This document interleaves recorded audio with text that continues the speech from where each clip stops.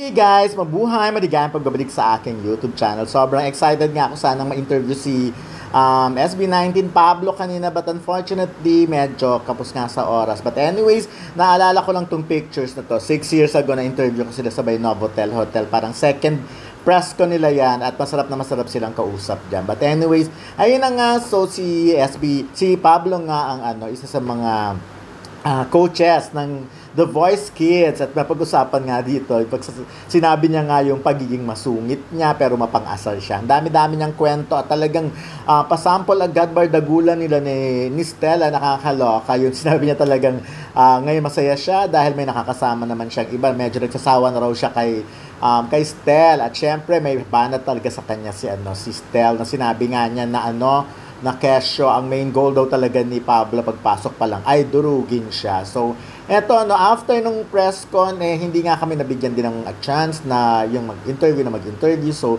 ayun na lang. So, nag-picture, pic, video-video na lang ako sa likod ko sila. Actually, pictorial yan. So, habang hinihintay pa ang karamihan, pinik pinicturean lahat ng members of the press. So, uh, ano first time sa narinig na in-offer ko sa akin yung pagiging coach sa The Kids. Nagulat po talaga ako kasi hindi ko siya na-expect kasi nandito na si Stel. Uh, pero, for me, parang sobrang interested din po ako sa kanya kasi nasa point in life ako na gusto ko talagang ibahagi yung knowledge na natutunan ko. Especially sa pag-perform with these uh, guys for almost like 7 years na ata po. And mahilig din po ako mag-produce. So, it felt like right opportunity siya for me. Kaya talagang nung sinabi sa akin na uh, gusto mo bang mag maging coach sa The Voice Kids, sabi ko. Para nag-isipan ko lang saglit, pero sabi ko, hey, grab ko na to kasi ito yung opportunity para maipakita ko kung ano yung, uh, maibahagi ko kung ano yung tuturuan ko for the past years. And since ikaw yung bagong pasok sa grupo, kumusta yung adjustment? Um, hindi ka ba nahirapan? And curious lang din ako in particular sa inyong style, parang dito ba wala mo na yung fact na grupo kayo may ganun hindi po. Unang pasok ko pa lang, parang matagal na kami magkakakilala. Kasi dito po talaga sa team ng coaches, parang, ewan ko, asaran agad, alam niyo po yun. Parang, parang hindi kami nagtatrabaho, parang magkakaibigan na kami matagal na. Tapos si Julie naman, syempre sister kasama ko lagi, minsan nakakasawa na nga, pero ayos na din. Same lang naman eh. Hindi, uh, ayun po, yung uh, nakatrabaho ko na rin po si Miss Julie, yan po, kasi Kuya Billy, uh, yung mga hobbies din namin, magkakapareha. So, madali talaga kami nakapag-connect sa bawat isa. And nung nag-start na yung promotion na, promotion activities ng The Voice Kids, doon ko naramdaman na parang parte talaga ako ng family ng coaches ng The Voice Kids. So, nagpapasalamat din ako doon kasi nakakapagtanong din ako sa kanila, ano yung experience niya sila voice kids, paano ba? Kasi especially kids nga to, kids yung mga i-handle namin.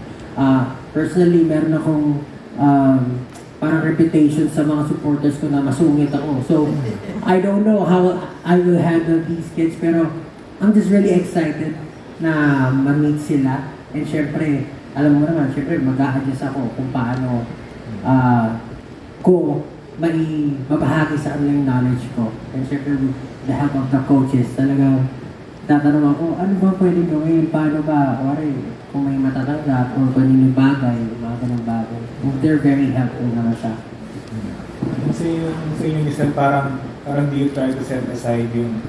Oo, talaga. Still yan. Bakit iset aside? Uh, set aside na yan? Hindi, grupo-grupo dito. Actually, unang pasok, unang pasok niya lang po dito, ang una niya pong game plan, durugin daw ako eh. Actually, yung nangyari dito, um, dati magka-dressing room kami ni Stel. Nung pumasok na si Pablo, na-kick out na ako. Dito na ako sa may banyo. Sabi ko nga, eh, bakit si Pablo pa yung sinama sa dressing room ko? Dapat si Kuya Billy na lang. Oo. Kaya, yun. Wala, wala akong choice. Yun lang po. Thanks. pero, ah, uh, ganito po kami mag-asaran. Pero, yun nga, totoo ba? Eh, pero yun, hindi ka, ka, totoo to, Pablo. Ito lang lang sinabi ni Kuya Billy, tsaka ni Stan kanina. Parang mahalaga kasi na, syempre bata yung mga tuturuan namin. Mahalaga na makita nila na this is um, a friendly environment. Kasi pagdating sa mga bata, uh, uh, all positive eh. Minsan kailangan mo ng mga uh, criticisms here and there, Pero sa stage nila, ah, mahalaga na may nagpo-push sa, sa kanila. And this is a competition, this is a small part of uh, their jour- journey as a singer, as singers.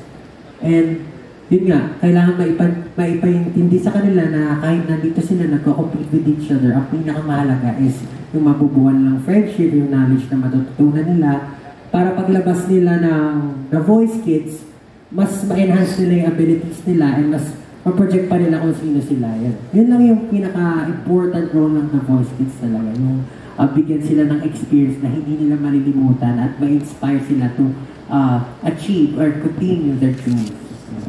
And uh, na masungit. So what do you think uh, will make the kids uh, gravitate ano, toward you? Ah, siguro, eh, ako nung bata ako, kapag may inaasar ako, tapos naaasar, lalo kong inaasar.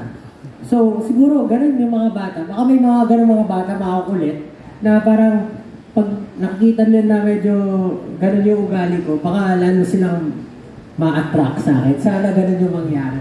Pero ako naman kasi, um, I've, I've been working with different artists kasi. I, I produce songs as well. So, nakapagtrabaho na ako sa iba't ibang timbre ng boses, iba't ibang ugali. And I think yun din yung magiging, ah, ano ba, parang advantage ko pagdating sa pag-handle ng mga talents. Kasi, ah, for sure, sa experience ko, kaya ko silang magabayan para ah, ma-maximize pa yung potential nila. Kung mababa man yung boses nila, mataas, or mid lang, kung timbre pa nila manipis, makapal, ah, for sure matutulungan ko si- sila doon. And sana makita nila sa akin yun at mag-work kami together to win this competition. Talbog. Alright, salamat and uh, good luck sa inyo. Reaction si Stel. Thank you, Sir Alan. Thank Pakilala po. Ah, for me naman po, honestly, ako po kasi wala akong masyadong experience nung kabataan ko po. Pero ang alam ko lang, mahilig po talaga ako umawi. Tapos, every time po siguro na nakakita ko ng child na kumakanta, sobrang nai-inspire ako. Kasi, ah, doon din po kami nagsimula, lalo na po ni, ni Stel. Um, we're fairly new sa industry pero we also had our share of challenges. Talagang merong point na talagang mag-give up, give up ka. Pero back then, uh, nung nagte-training kami, ang nasa isip lang namin nun, gusto namin mag-training araw-araw, gusto namin umawit, gusto namin ma-experience, makapag-perform sa malalaking stage. Ganon din po yung mga kids. Parang sobrang puro ng intention nila. Ginagawa nila yung bagay kasi yun nga po, yun yung pangarap nila, yun yung parang gusto nilang gawin sa buhay, yung umawi, or even just to entertain people. Uh, every time na nakikita ko sila, parang kapag napanghihinaan ako ng loob, naaalala ko yung nag-uumpisa pa lang yung SB19 kami ni Estel. And through that, na-motivate ako, na-inspire ako. So, this um, kind of platform, The Voice Kids, uh, sobrang blessing po siya sa akin kasi uh, parang nare-relieve ko yung feeling na nagsisimula pa lang kami ng SB19. Kaya sobrang excited na ako ma-meet yung mga bata.